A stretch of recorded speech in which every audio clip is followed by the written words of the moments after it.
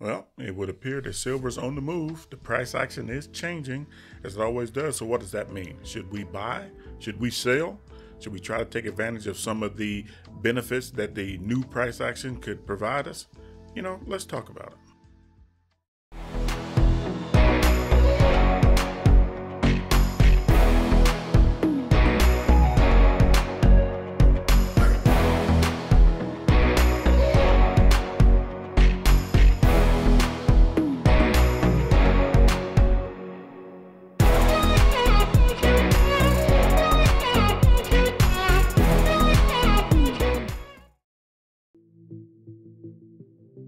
Everyone.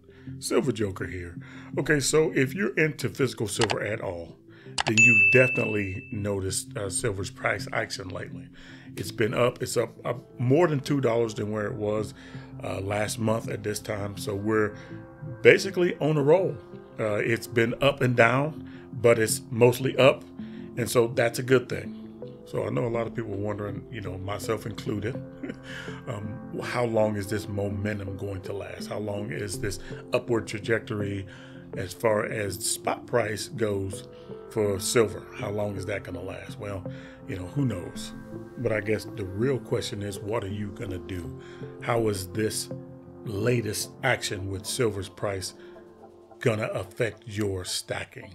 If you're already a stacker or if you're trying to decide to stack. That really is the question with what's going on right now. Are you going to buy silver? Are you going to sell silver? Are you going to wait?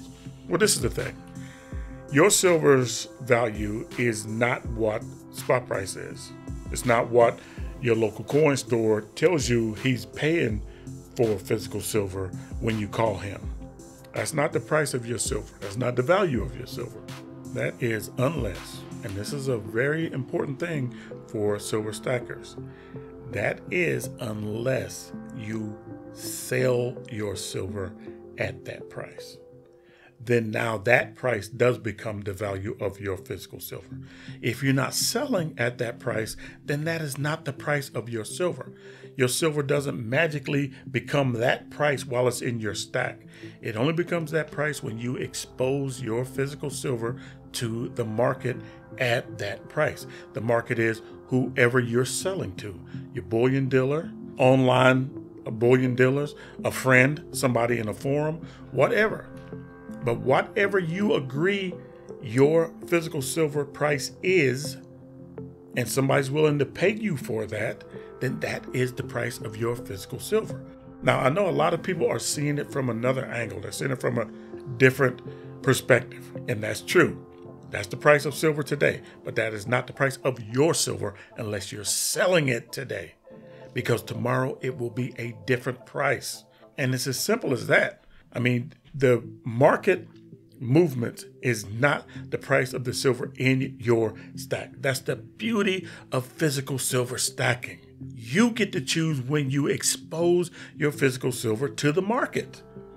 And once you understand that, once you can incorporate that concept into your physical silver stacking, you will be a much better stacker. You'll be a much more satisfied stacker.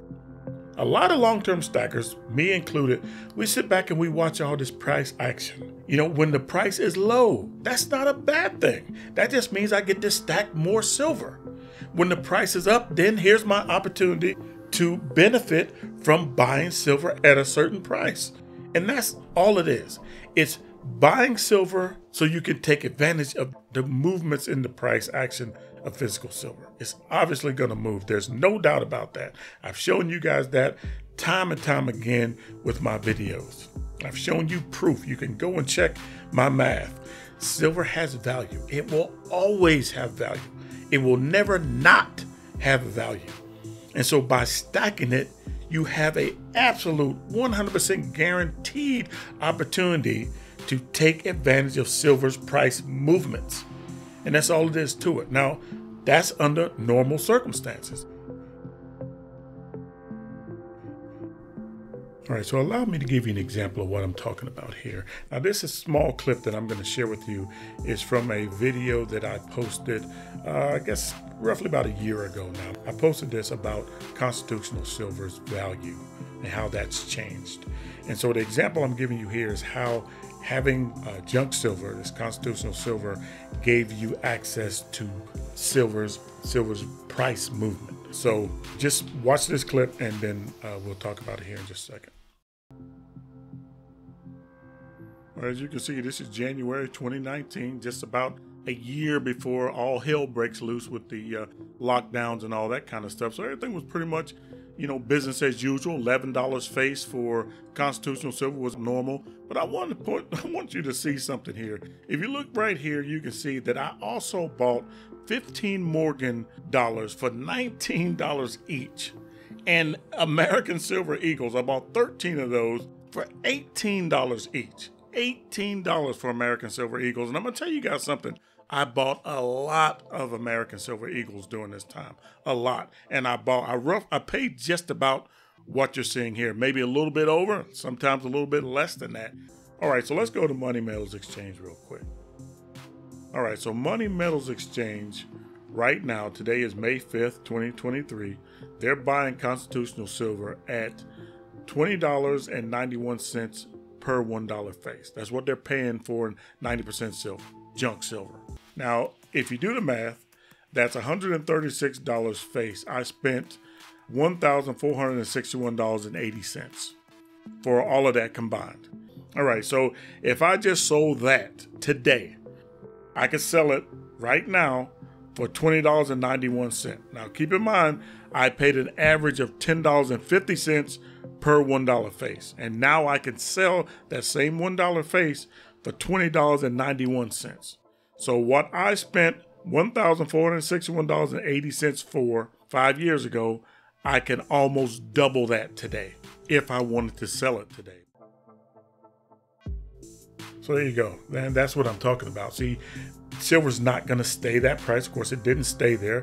Um, junk silver is at where it's at now, so it's not. It's moved. It's gone down since then. But if you had stacked it before then, like I did, then you could have taken advantage of that at a point where it was double what I paid for. Double. And that's what silver does. It gives you an opportunity to take advantage of silver's price action. And if you have done the research, you have done the gut level honest budgeting for your personal finances, and you can stack physical silver for the long term comfortably, you can't lose. If you understand the concept, if you truly understand what physical silver is meant to do for you, you can't lose. That's why you see a lot of physical silver stackers here on YouTube who create content in the silver stacking community. That's why you see them so happy.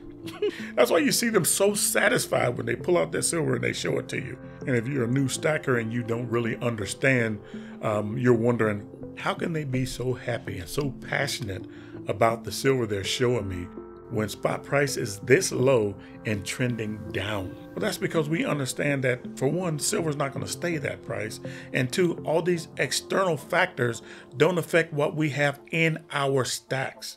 Now, if you buy physical silver stock, you buy physical silver shares, then of course you're you're at the mercy of the market. You're at the mercy of wherever the market goes. But if you have and own it, it's in your hands. You can feel it and touch it and store it, and it's in your possession.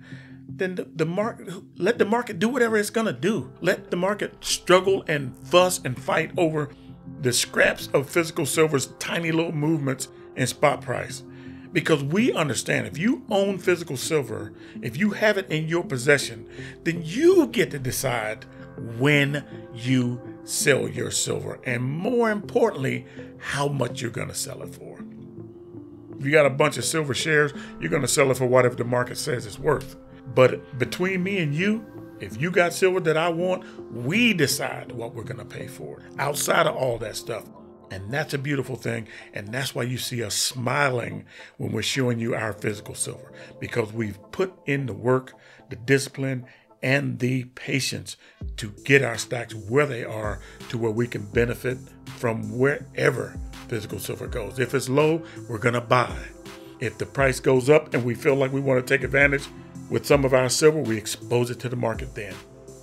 And to me, that's a beautiful thing. It's a concept that you really have to accept You have to drown out all the negativity. You got to drown out all those numbers and spreadsheets and all that kind of stuff. And it boils down to you owning a piece of physical silver that you hold in your hands that will always have value.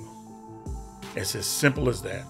It's easy once you get to where you understand it and you accept that this is what silver is capable of doing for you and you drown out all the other fantasy.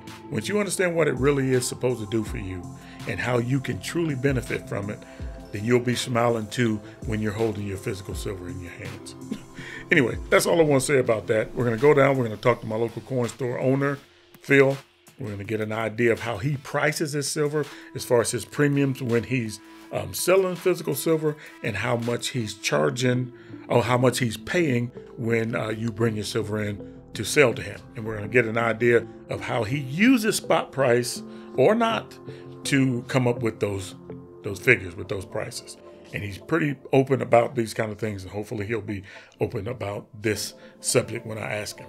Anyway, we're just going to keep the silver train rolling. I appreciate you guys stopping by. Keep stacking. Peace.